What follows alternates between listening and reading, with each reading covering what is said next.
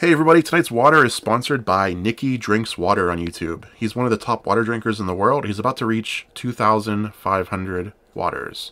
So check him out, and thanks for sponsoring tonight's water. And before I drink this water, Nicky had a little special request. He wanted me to talk about music and songs that I'm interested in. And that's kind of tricky because there's so many songs I like, and it's I mainly like one-hit wonder songs. So I'm going to put up a list on the screen of um, songs I like and songs that I have on my phone because it's just too many for me to talk about in a video. But I'm going to talk about artists that I like, musicians that I, that I like, like um, musicians where I like most of their songs. Um, so first of all, Jay-Z. This is actually uh, the only concert that I've paid full price to go to was Jay-Z. So I'm a fan of his. Pretty much all of his songs are really good. Um, and there's only been one album or one artist where I've paid full price for their album, and that's the band Don't Stop or We'll Die. I'm a huge fan of them, and I think they're like one of the most underrated bands ever. Um, and I just paid full. Normally, I pirate my music, but I paid full price for all of their albums because I want to support them. I want them to make more stuff. Um, yeah, rest in peace, Harris. But even the new stuff is still good. I'm also a fan of Elliott Smith, Creedence Clearwater Revival, Katy Perry. I mean, most of my list is pretty mainstream stuff, but I don't care. Like, that's just what I'm a fan of. I, I think music is generally popular because it's good. Uh, I'm a fan of The Lonely Island and just comedy music in general, but it's especially good when it's also good sounding, like The Lonely, Lonely Island. They have good beats and good lyrics, and it just sounds good. It's not just funny music. I'm also a fan of 21 Pilots, Jon Lajoie, I think that's how you pronounce it, Mac Miller. Um, a good friend of mine from high school uh, worked on a lot of Mac Miller's videos. Justin Boyd, he's actually like credited in the YouTube credits of a lot of Mac Miller's songs. And when I was back making iPhone apps, I even made a Mac Miller app because I was like a fan of his um, before he passed away.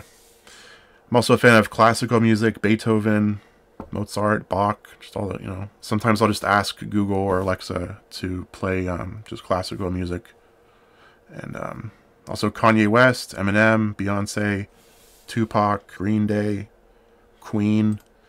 When I got my first MP3 player, it was like one gigabyte, I think.